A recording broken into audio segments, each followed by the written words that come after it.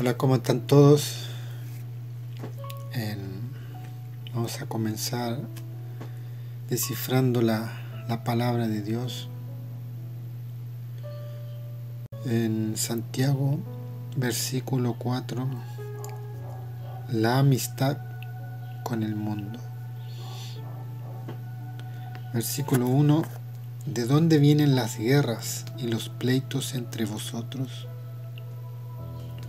¿No es de vuestras pasiones? Pasiones. La pasión viene del corazón, sentimiento, las cuales combaten en vuestros miembros. Entonces, el odio, principalmente el odio,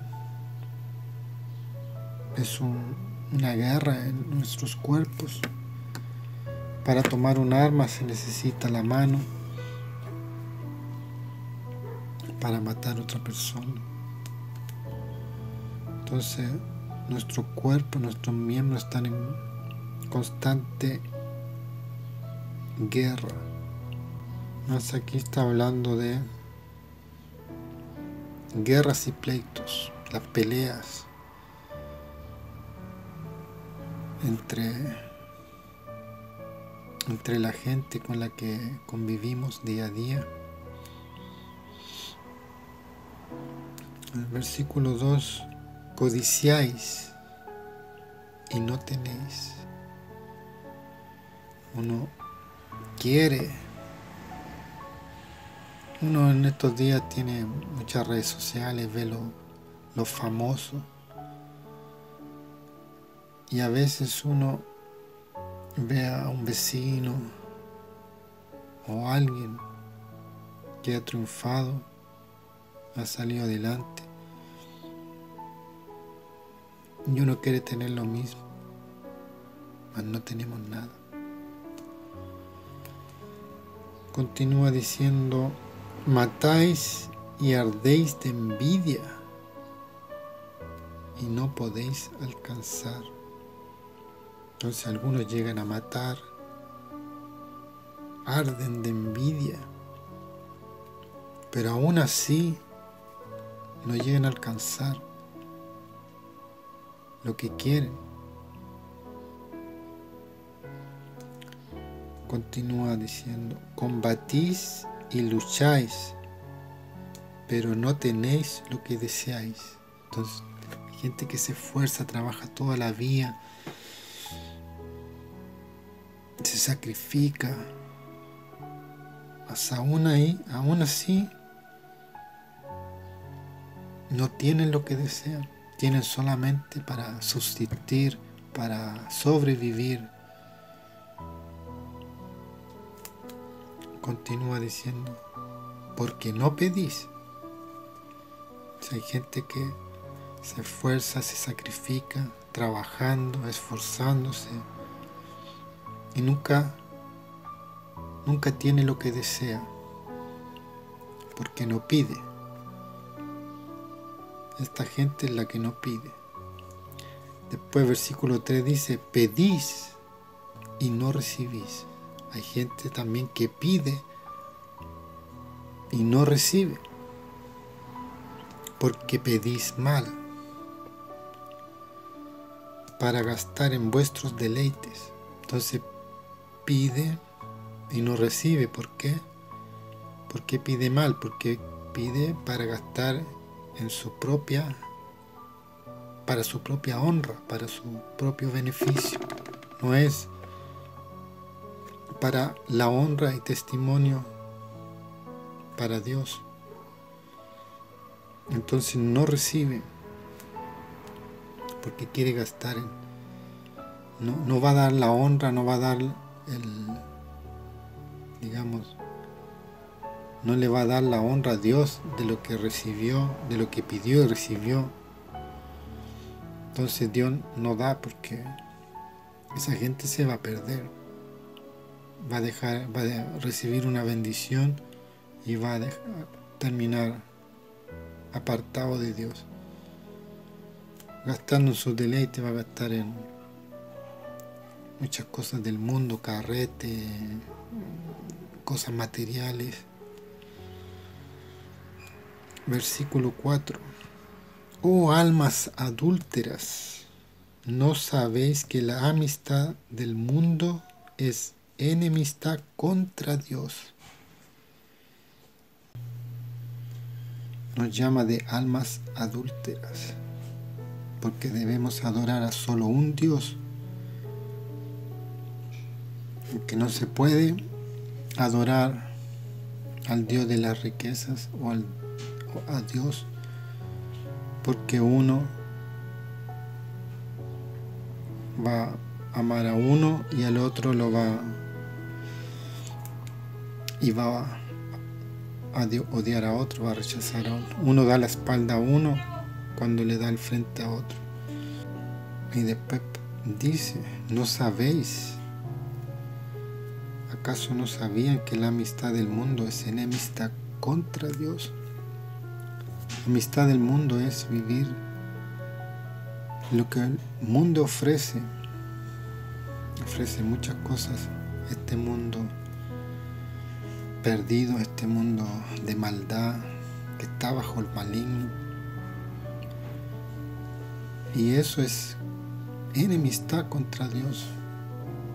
la voluntad de Dios nunca va a ser andar allá afuera en carretes, en, en vicio. Andar en la voluntad de Dios es andar siempre en la verdad, en lo sincero, en lo justo, en la fe, en el amor.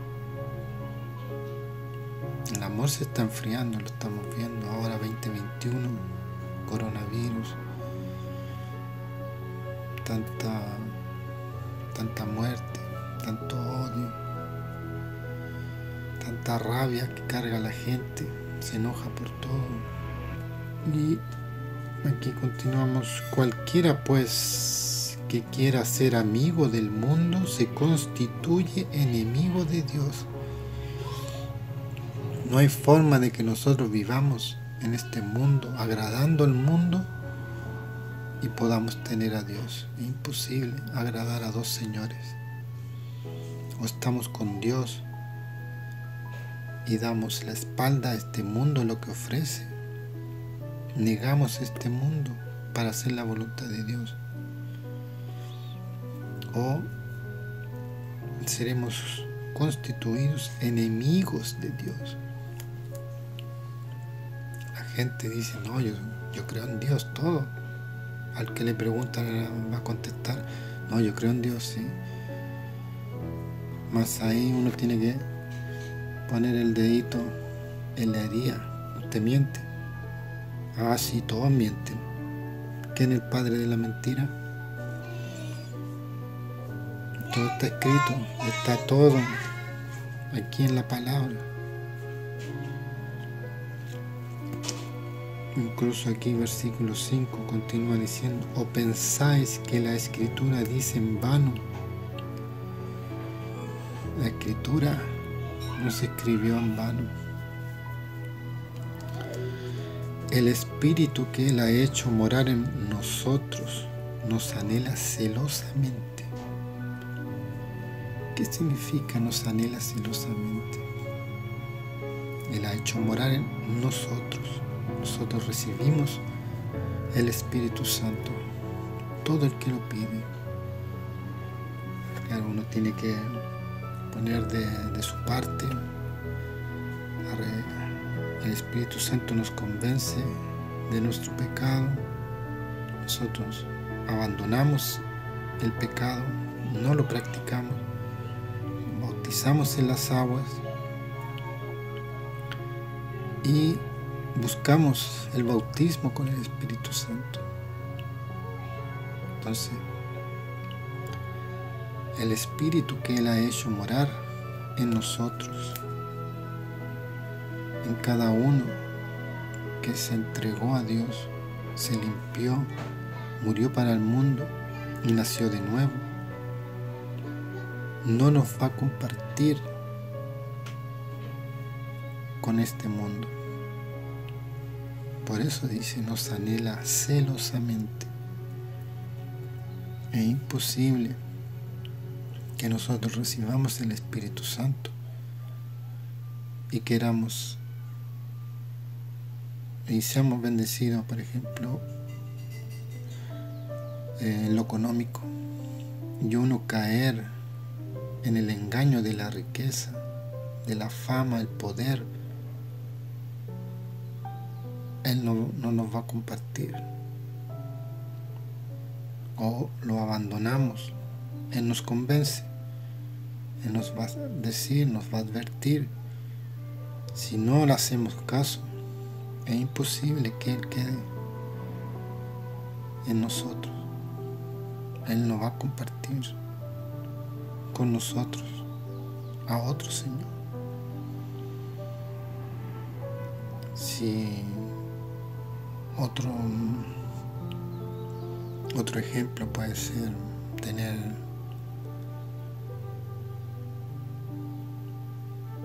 una mentira, un amante,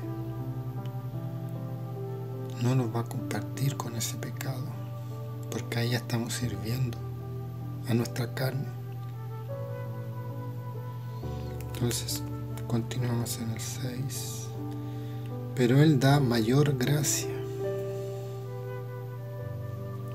Por eso dice, Dios resiste a los soberbios.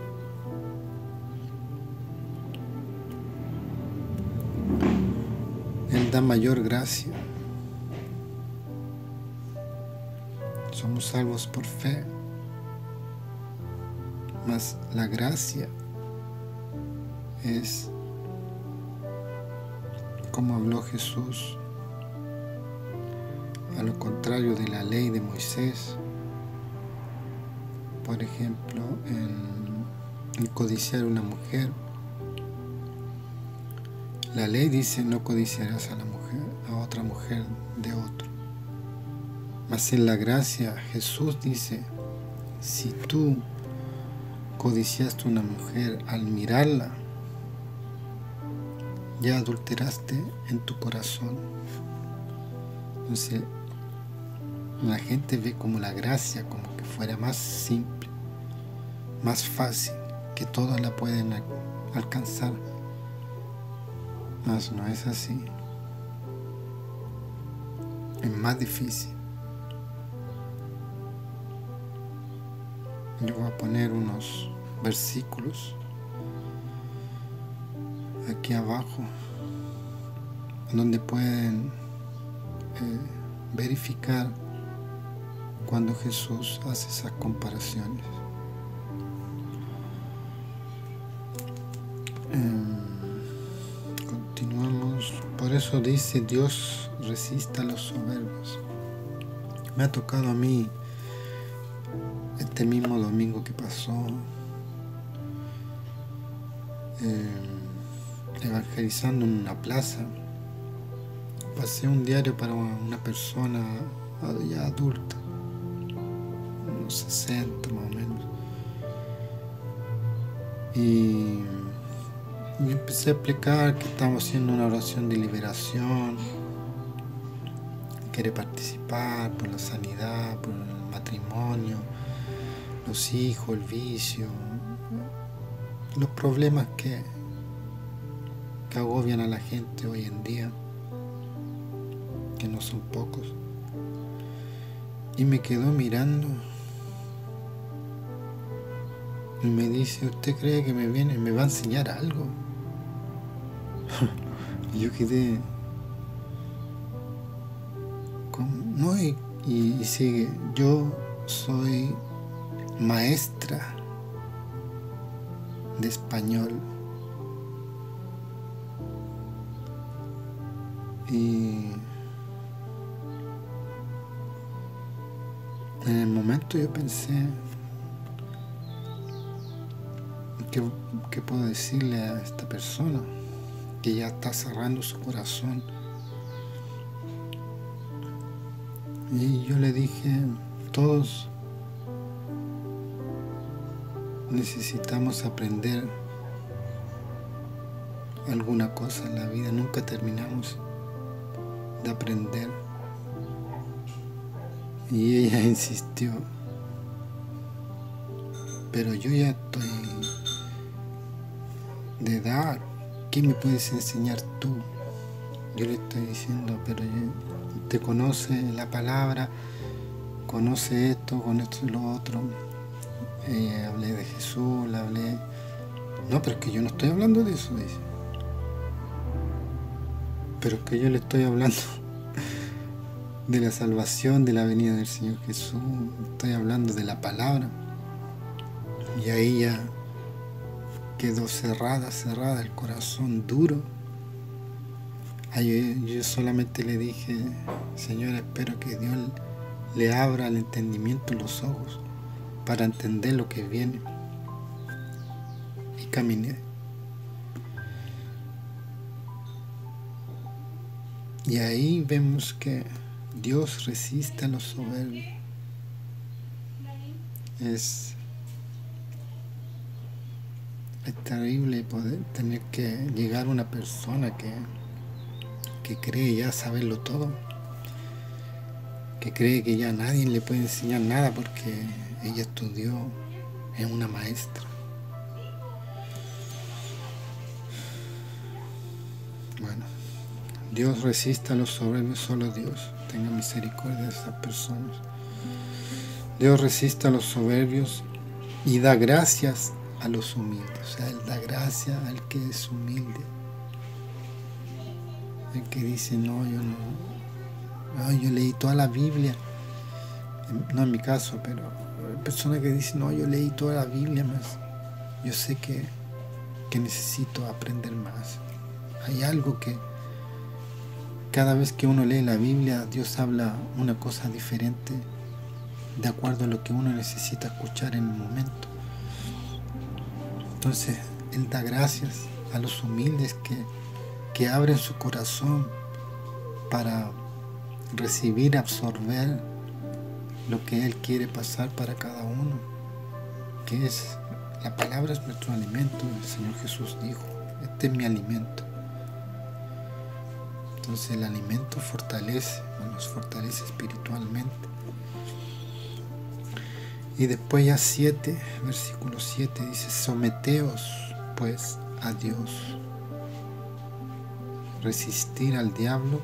Primero, tenemos que someternos a Dios. Tenemos que entregarnos 100% a Dios. Hacer todo lo que Él manda en la escritura, en su palabra, para agradarlo y después Él dice, resistan al diablo. Tenemos que resistirlo. Con la espada del Espíritu, con el escudo de la fe, con el yelmo de la salvación, tener la armadura de Dios. Tenemos que resistirlo. Es imposible no resistir sin el Espíritu Santo, que es la espada, la fe, que es nuestro escudo. Es una guerra, es una guerra arrancar las almas del diablo, del infierno. nosotros somos, digamos, blancos para Él, somos almas que Él quiere ganar para el infierno y no va a buscar los que están allá afuera, que ya, ya son de Él. Él va a buscar los que están viviendo la palabra, los que están en la iglesia A, B o C, buscando a Dios, que tienen a Dios. A esos Él va a tratar de, de llevar y ganar sus almas. Porque los otros del mundo ellos ya están en sus manos, en su mano. Entonces dice, nos dice a nosotros que estamos perseverando en la fe, unidos,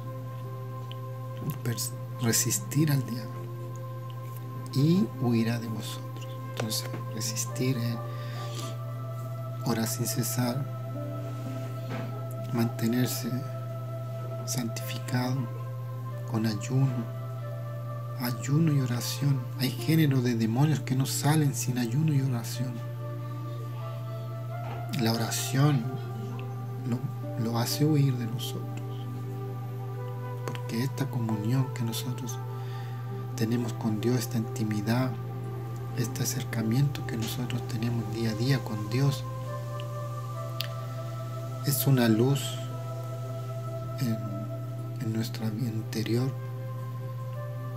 esa luz es un escudo en nuestra casa, en nuestra familia, matrimonio, es un matrimonio blindado, una casa blindada por Dios.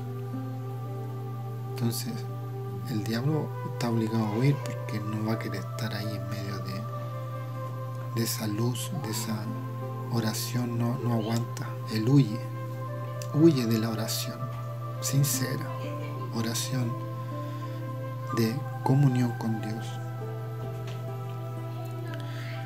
Y versículo 8, acercaos a Dios. Nosotros tenemos que acercarnos y justamente a través de la oración nosotros nos acercamos a Él. Esa es nuestra forma de, de llegar a Dios a través de la fe y oración y Él se acercará a vosotros.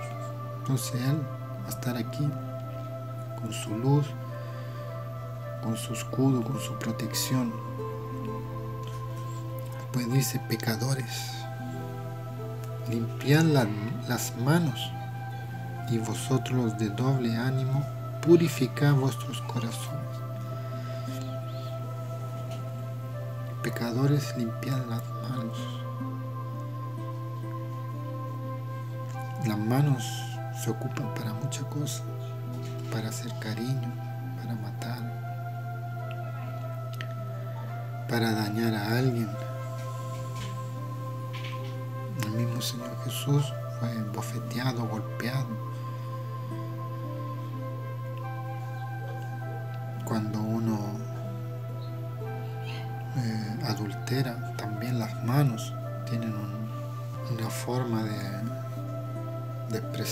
digamos. Entonces los pecadores tenemos que lavar nuestras manos.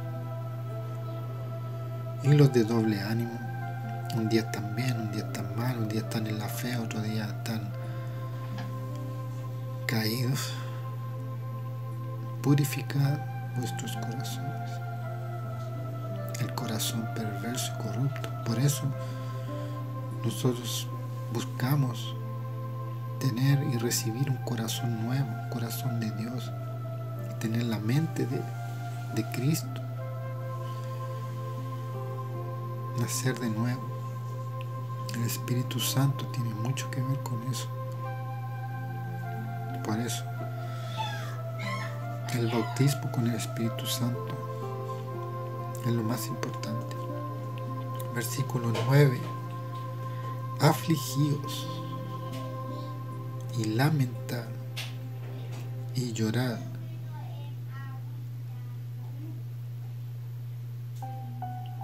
Vuestra risa se convierta en lloro y vuestro gozo en tristeza. Ahí, versículo 10 dice, humillaos delante del Señor y Él os exaltará. Nosotros tenemos que doblar las rodillas, confesarlo como único Dios, Señor, Dios creador, Dios viviente, Dios de Abraham, de Isaac, Israel. Y Él nos va a levantar.